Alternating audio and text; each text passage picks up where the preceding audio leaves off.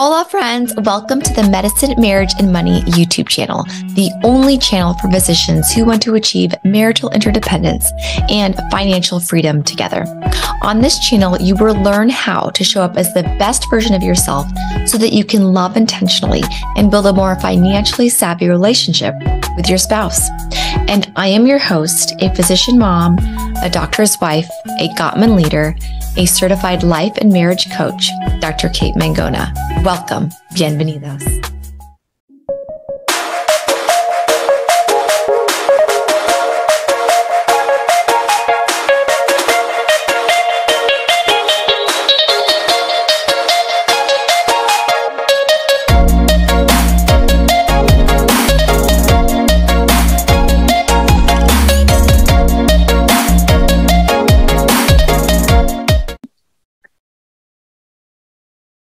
Thank you. Hello, sweet friends, and welcome to another episode of Medicine, Marriage, and Money. Thank you for joining us on this day after Father's Day. So, happy Father's Day if you celebrated Father's Day yesterday. If you are a father, if you have a father, if you're married to a father, or if you act in a father's role. So, maybe you're a single parent, um, which you might not be listening to this episode. Maybe you know a single parent, or maybe you have a spouse, but you feel like a single parent. Either way, happy Father's Day and happy Juneteenth. So today is June 19th. I'm recording this, and Juneteenth is now a national holiday thanks to our uh, president that declared it a national holiday in 2021. So I'm just going to go over today. The main topic will be how to raise anti racist children. How to raise anti racist children. And I'm going to be looking down at my source. I have a few sources that I'm going to share with you guys as we go over. Um, if you, any of you guys follow Dr. Becky from Good Inside, her community on parenting, love her. She had a uh, webinar the other day from with Brittany Hawthorne, one of the people who works for her on how to raise anti-racist children. And she wrote an article a year ago for Juneteenth, one year ago, about the 12 things you can do to raise anti-racist children and things you can do, particularly around Juneteenth. And before I go into those 12 things, I'm going to briefly summarize them. Uh, and then I'm going to give you some references. I would like to talk about children in general and their ages. Now, some of you guys may have seen this graphic that goes from baby to toddler one, two, three, four, five, all the way to six plus. So if you have the younger kids between baby and six plus, you may be wondering, how do I begin to have a conversation about race, about the color of our skin with my baby, with my one or my toddler, or even with my kindergartner? And so I just wanted to share this graphic. This is from children'scommunityschool.org about what's appropriate and at what age they recognize different things. Okay. So they're not too young to talk about race. It just depends on how you present it and how you talk about it. So, zero at birth. Babies look at all faces equally until about three months. About three months, babies look more at the faces that match the race of their caregivers. So if their caregiver is Black, they're going to tend to look and notice the Black faces more than the white or all the other colors in between brown, yellow. And same goes white babies going to tend to if they have a well if they have a white caregiver it, depends on their caregiver not the color of their skin. So if they have a white caregiver even if it's a black baby they're going to be looking more at the white caregivers. Okay children as young as two years okay so that that covers like zero to one okay? So they're going to be looking at those faces and identifying with those more if they have their caregiver. Now children children as young as two years old use race as a reason about people's to reason about people's behaviors so they can relate somebody they know that has white skin to another human being like they might recognize oh she might have milk right if their mom is white they might look at another white person and say she has milk or she may be soft or he may be soft they may be warm they're going to protect me. So they're going to relate. Okay. By 30 months, most children use race to choose playmates. Okay. So they will identify with who they know, who they've been around and surrounded with, and they're going to use that to choose their playmates. Now, by four years old, expressions of racial prejudice often peak by four to five years old. Okay, so this is why it's important to talk about talk about skin color, talk about the skin early, because this stuff shows up early in our children. By five, Black and Latinx children in research setting, settings showed no preference towards their own groups compared to whites. White children, however, remain to strongly biased in favor of whiteness. Okay, and this was a research study done by Dunham et al. in 2008. And then by five years older, by kindergarten, children show many of the same racial attitudes that adults in our culture hold. They have already learned to associate some groups with higher status than others, okay, by the color of their skin. And then six plus. So between five and seven years, explicit conversations with five and seven year olds about interracial friendships can dramatically improve their racial attitudes in as little as a single week. So if you have a five, six, or seven year old and you talk to your children about friend being friends with other color skins, Latinx, Black, Asian, whatever color skins are, and, and, and introduce them, right? Like purposely put yourself in situations, be in those schools, have those play dates, go to those parks, go to those beaches that are diverse. This significantly increases who they're going to hang out with, who they're going to feel comfortable with.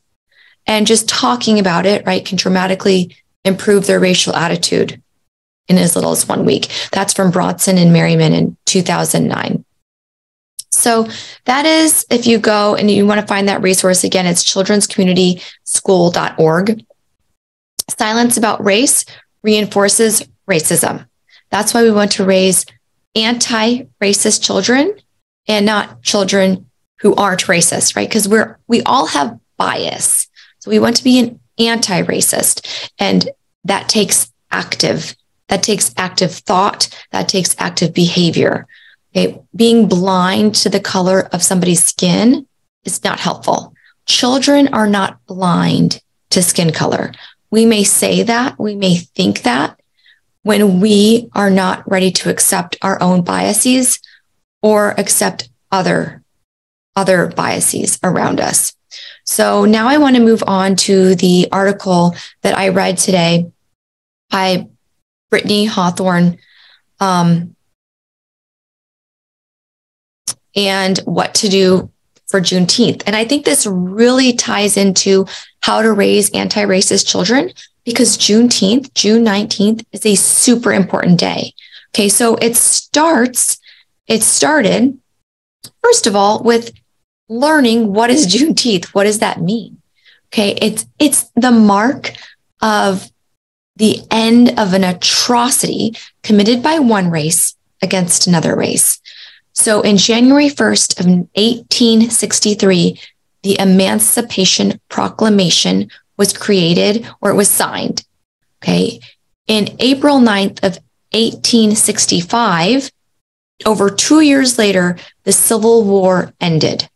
And in June 19th of 1865, Juneteenth General Order Number Six, the Emancipation Proclamation word was brought to Texans uh, to at Galveston, Texas, and people were now privy to the fact that they were no longer had to be enslaved.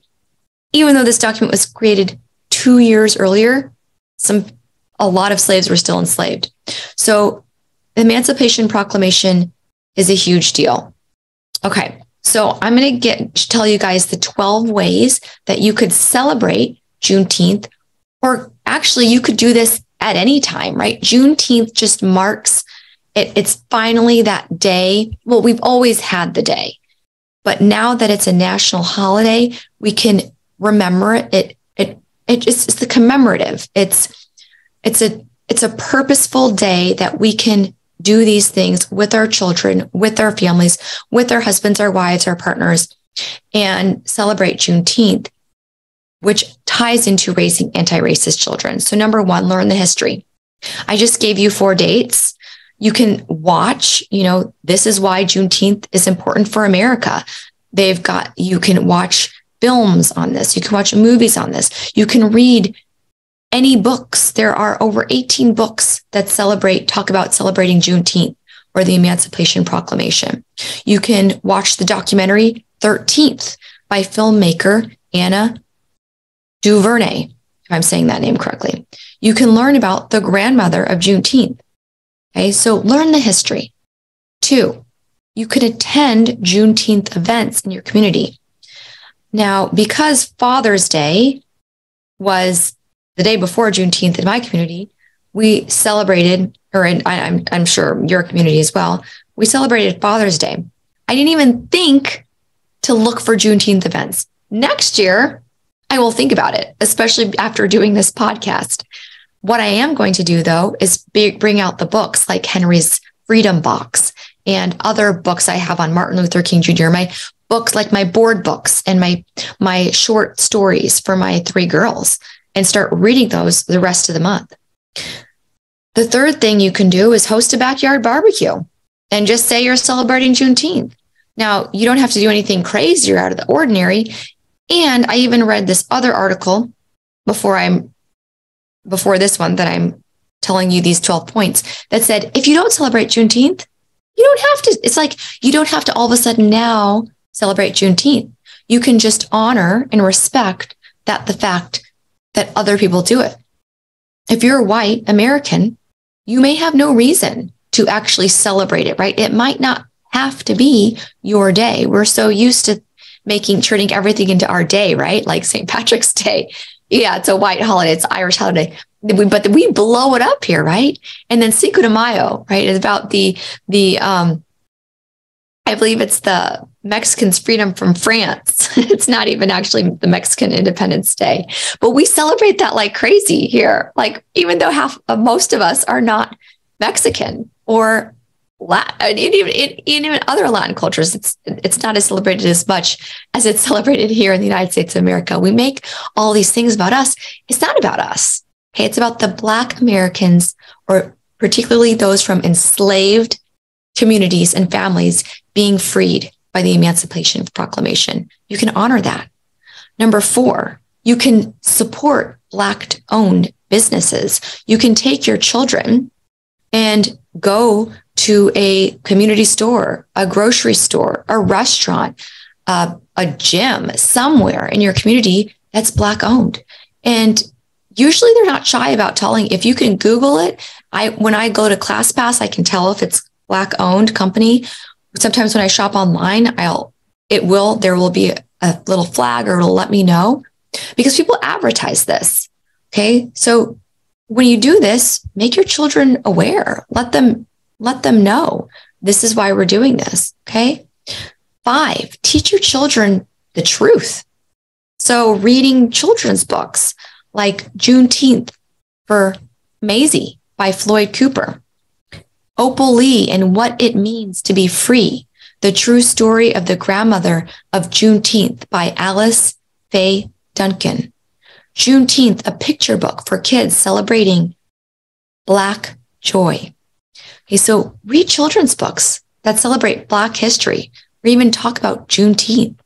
You can watch movies with your children, 155th anniversary of Juneteenth.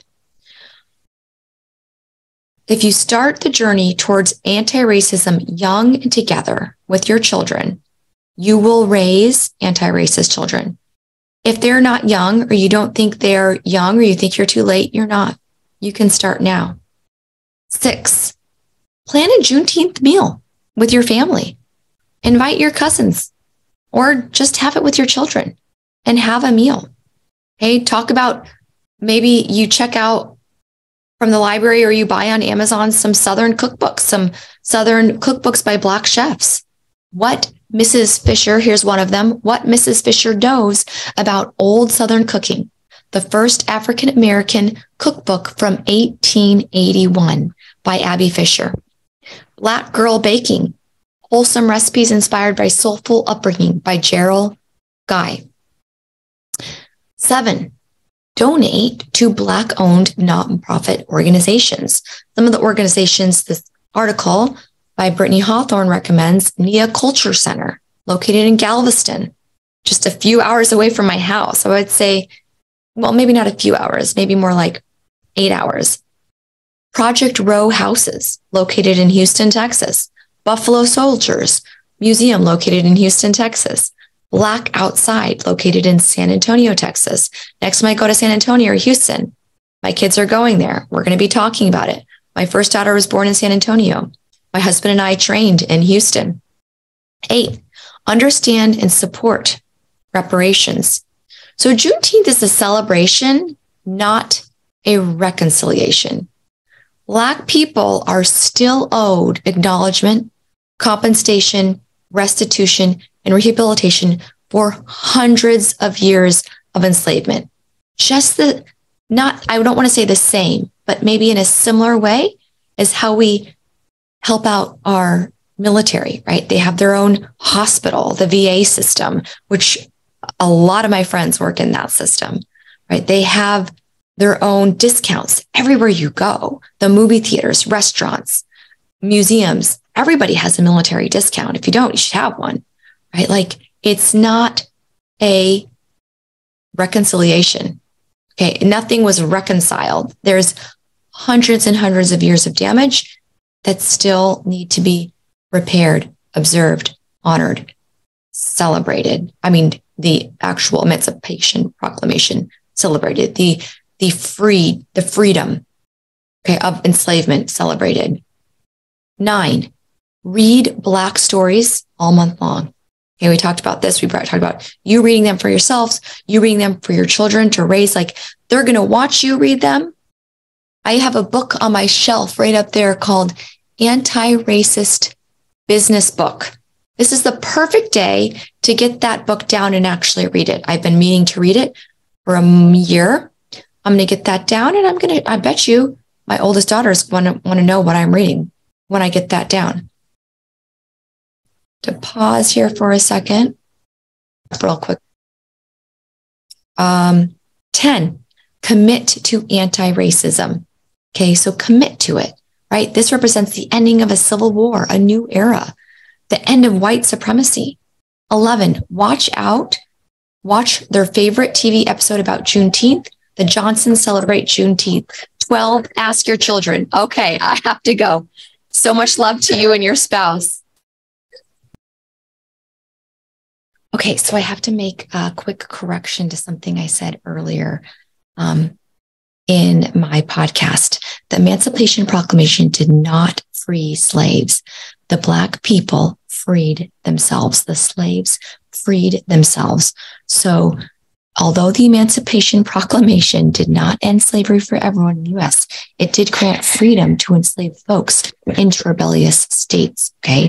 So what they did is they created ways to escape, like the Underground Railroad. They planned revolts and rebellions that were organized against captors. Self-education was a powerful tool also for empowerment.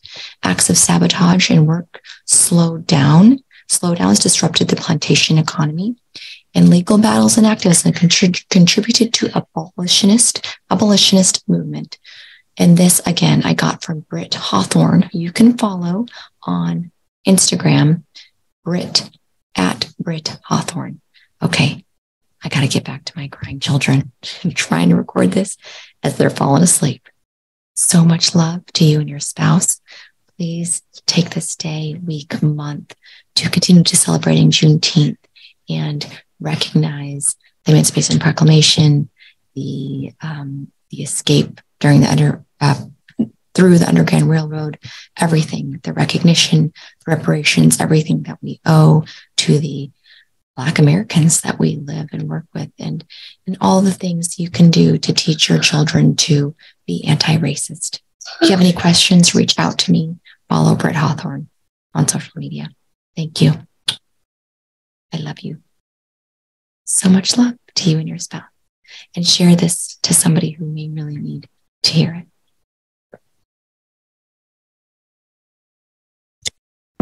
If you are finding the concepts I teach in these episodes useful and want more in depth and personalized support for your relationship, consider this your invitation to join me in creating the most connected and intimate relationship with your spouse that you could dream of. Go to www.medicine.com marriageandmoney.com right now and download my 18 page medical marriage survival guide and workbook at no cost to you. I also have a six day marriage challenge, which goes over the six predictors of divorce at no cost to you. These have been known to decrease fighting, rumination, and grudges between you and your loved one. If you want to take it a step farther, really enhance the joy and connection in the most intimate relationship in your life, sign up for my eight week Making Marriage Work program today at medicinemarriageandmoney.com. Thanks for leaving us a stellar review, subscribing, and sharing with your friends on social media. You have the power to improve someone else's life and marriage simply by sharing this episode. Much love to you and your spouse. You're exactly where you need to be in this moment. Adios, my friends. The content of this episode is not intended to be a substitute for professional, medical, or financial advice. The opinions provided on this episode are for are those of myself or the invited guest alone.